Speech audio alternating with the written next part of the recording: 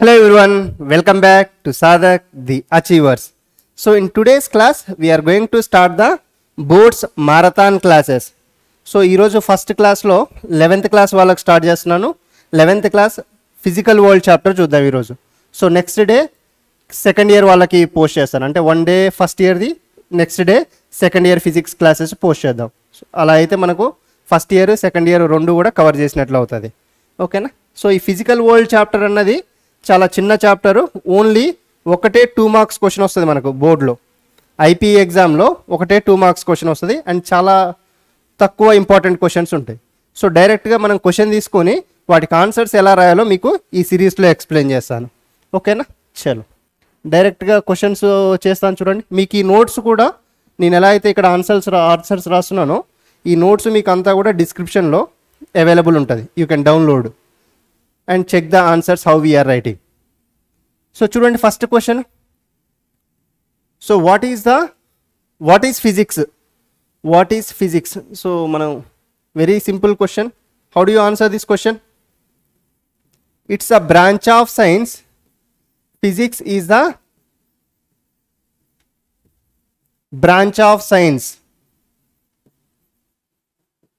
branch of science which deals with which deals with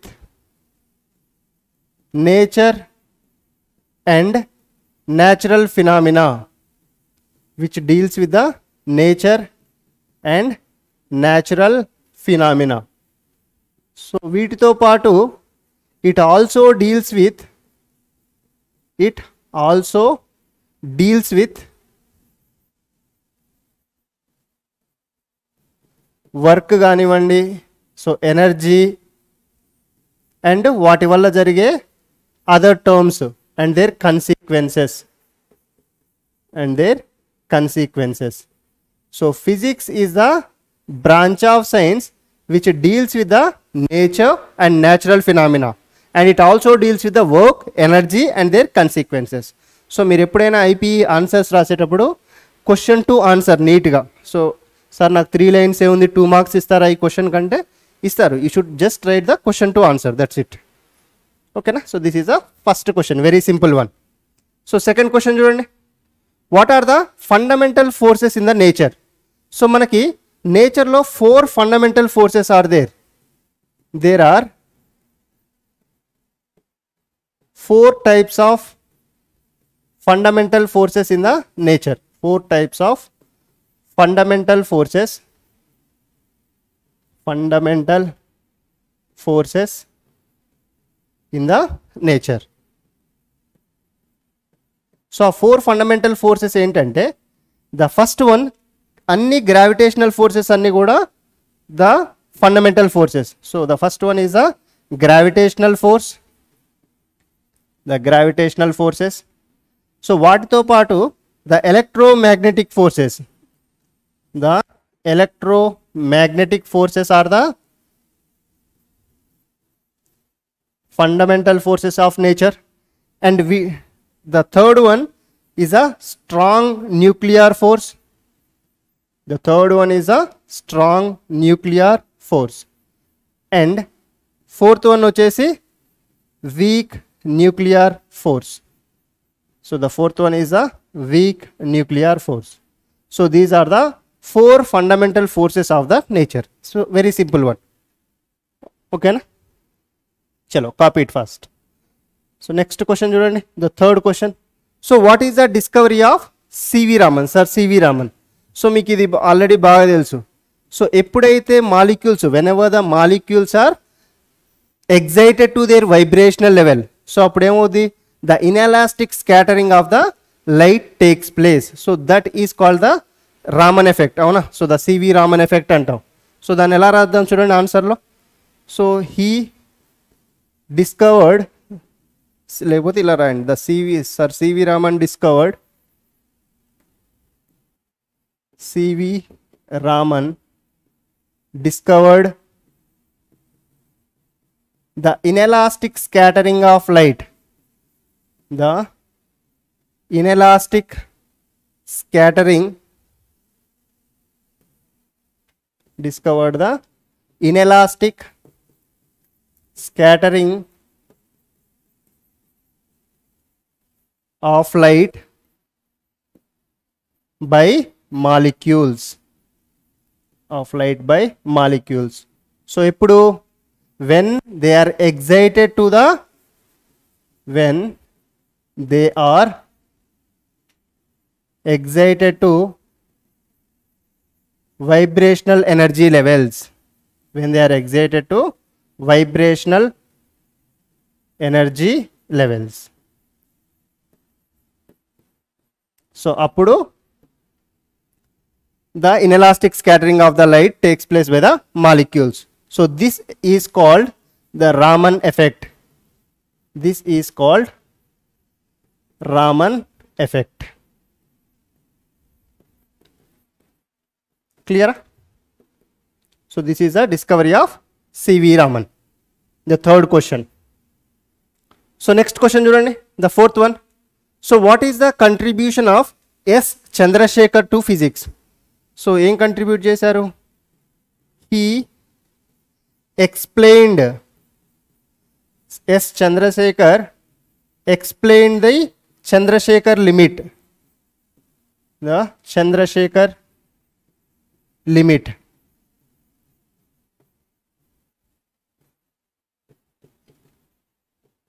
So he also worked on danto patu he also worked on structure and evolution of stars.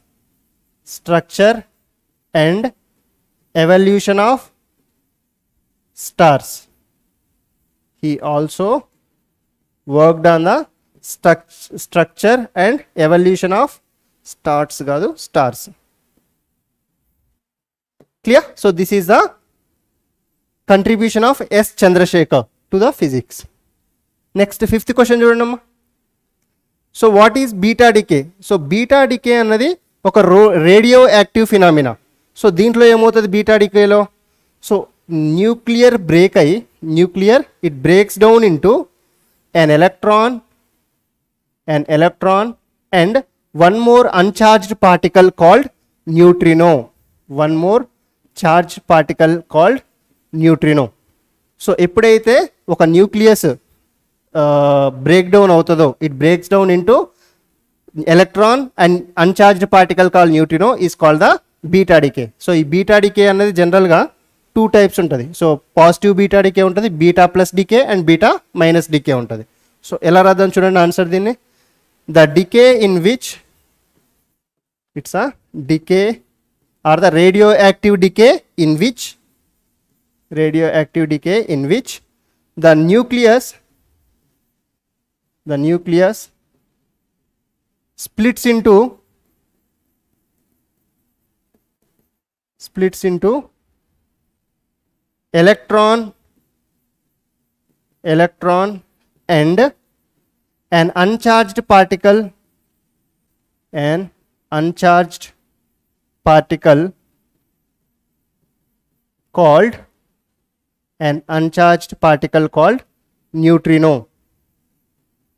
neutrino okay na?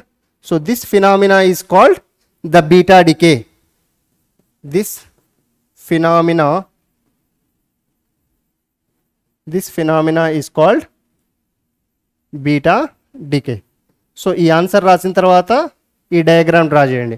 So nucleus అన్నది ఎలక్ట్రాన్గా న్యూట్రినోగా split అవుతుంది అనమాట ఓకేనా so దీంట్లో మళ్ళీ beta plus decay ఉంటుంది beta minus decay so జనరల్గా మనం బీటా మైనస్ డికే గురించి ఎక్కువ చదువుతాం. ఇది మనకి సపరేట్గా సెకండ్ ఇయర్లో మళ్ళీ చాప్టర్ వస్తుంది. న్యూక్లియర్ చాప్టర్ దాంట్లో ఇన్ డీటెయిల్గా చదువుదాం. సో నెక్స్ట్ నెక్స్ట్ క్వశ్చన్ చూడండి. The sixth one which of the following has symmetry so symmetry అంటే ఏంటి? ఎక్కడైనా కూడా సేమ్ ఉండాలి. అంతేనా? That's such object show the symmetry so ఇక్కడ మనకి టూ ఆప్షన్స్ ఇచ్చారు. Acceleration due to gravity the law of gravitation so ఈ యాక్సలరేషన్ డ్యూ టు గ్రావిటీ అన్నది ప్లేస్ని బట్టి చేంజ్ అవుతుంది. అవునా? యాక్సలరేషన్ డ్యూ టు గ్రావిటీ అన్ని ప్లేసెస్లో ఒకలా ఉండదు. అందుకనేసి ద యాక్సలరేషన్ డ్యూ టు ఈ gravity it has no symmetry but ఈ లా ఆఫ్ గ్రావిటేషన్ అన్నది ఎక్కడికి వెళ్ళినా కూడా సేమ్ ఓకేనా సో ఇక్కడ ఆన్సర్ వచ్చేసి B so B is the answer ఎలా రాస్తారు? The law of gravitation or the law of gravity has symmetry has symmetry ఎందుకని అడిగితే? Because because it has same value it has the same value at any place or it is same at all places we can write. Same value value it is same at all places. So that's why the law of gravitation has symmetry. Clear this part? Understood? So మనం ఇక్కడ six questions చూసాం చూడండి. The physical వరల్డ్లో what is physics so next question వచ్చేసి what are the fundamental forces of the nature the third question వచ్చేసి what is the discovery of C V Raman so next question what is the contribution of S Chandrasekhar to the physics and fifth question వచ్చేసి what is beta decay diff what is the beta decay and what is the function of it right and sixth క్వశ్చన్లో which of the following has symmetry so the law of gravitation ఓకేనా so with this the first chapter ఈ physical world అనేది చాలా చిన్న chapter only మనం six important questions discuss చేసాం. So ఇవి చేసే సరిపోతుంది. వీటితో పాటు కావాలంటే ఇంకా కొన్ని అడిషనల్ క్వశ్చన్స్ కూడా నేను డిస్క్రిప్షన్లో మెన్షన్ చేస్తాను. ఆ క్వశ్చన్స్ కూడా చూసుకోండి. వాటికి ఆన్సర్స్ కూడా మెన్షన్ చేస్తాను. ఓకేనా బట్ ఇవి చేసుకుంటే మాత్రం మ్యాక్సిమం ఇనఫ్ ఓకేనా చాయిస్ పోను మనకి ఇలాంటి క్వశ్చన్స్ వచ్చే ఛాన్సెస్ నైంటీ నైన్ పర్సెంట్ ఉంటుంది ఎగ్జామ్లో. Okay? So will meet in the next class with the units and dimension chapter okay? So thank you guys bye